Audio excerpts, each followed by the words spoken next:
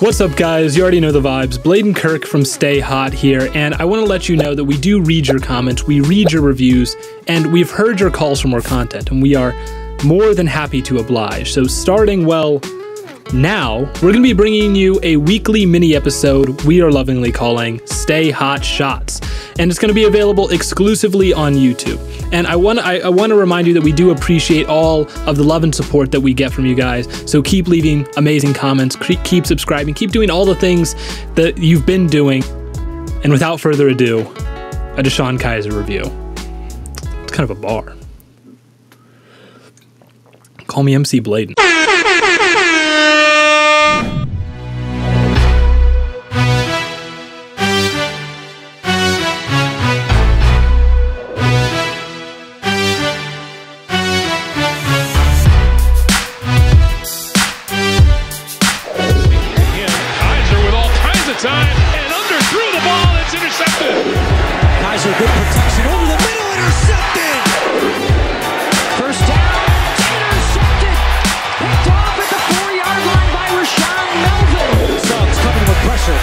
Steps up. Now Kizer on the run. Lost the football. Knocked out by Suggs. Kizer again from the shotgun on third and nine. Throws near side of the field. That Pass deflected and intercepted. Um, I'm a winless quarterback in this league. Never won.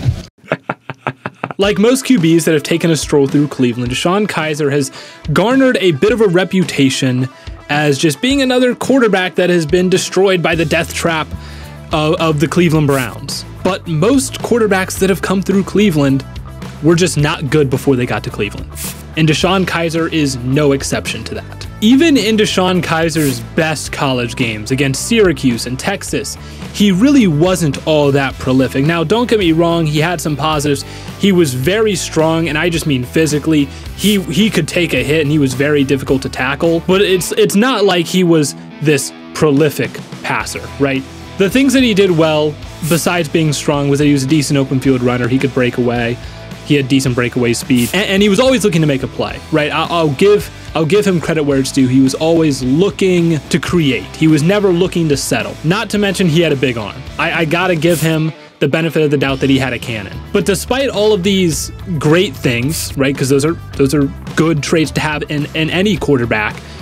He's not an elite runner right? I mentioned he's strong, he has decent breakaway speed, but he's not like elusive in the same way that Lamar is. He's not aggressive enough or maybe confident enough to run through a linebacker the same way that Josh Allen is or Trey Lance is. And oftentimes, despite having this big arm, he just makes easy things incredibly hard.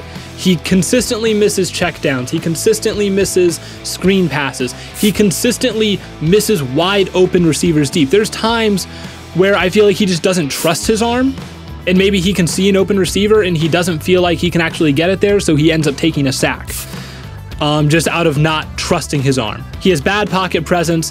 He doesn't really throw the ball away. I, I, I remember watching some of his film and I'm like screaming at him to just throw it away. Just do something other than take a sack. At the end of the day, the two biggest issues that Kizer had was that he just refused to take what the defense would give him and he would just stare down receivers.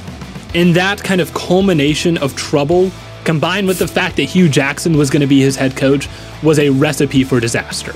Now, in DeShone Kizer's NFL debut, I did think he showed a little bit of promise, right? I thought, oh, maybe he could be the next Dak Prescott. He wasn't super prolific in college, didn't have stellar coaching, but still found a way to, to succeed anyway.